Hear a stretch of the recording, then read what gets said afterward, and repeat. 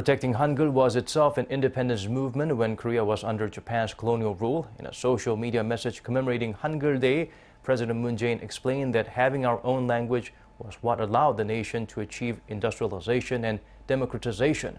He also expressed great pride in how the Korean alphabet is attracting interest from foreign learners.